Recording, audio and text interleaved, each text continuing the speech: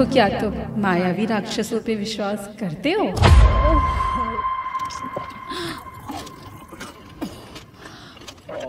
Oh.